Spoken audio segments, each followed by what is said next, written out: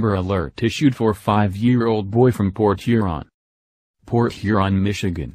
WJBK, an Amber Alert has been issued for a five-year-old boy in Port Huron. Police are asking you to be on the lookout for a 2000 Chevy Malibu in a maroon or brown color with the plate number DFC 9403. The suspect is the child's biological father Douglas Ball, who is 39 years old, 6 feet 4 inches, 240 pounds with blonde hair and blue. The child is Douglas Ball is 4 feet 5 inches, weighing 100 pounds with blonde hair and blue eyes. If you see the vehicle call 911 immediately. The Port Huron Police Department can be reached at 810-984-8415. Port Huron police told Fox 2 the suspect was last seen around 6 p.m. the Saturday.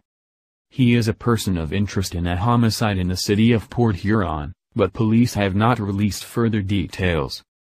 The child was reported missing around 4.30 p.m. the Saturday.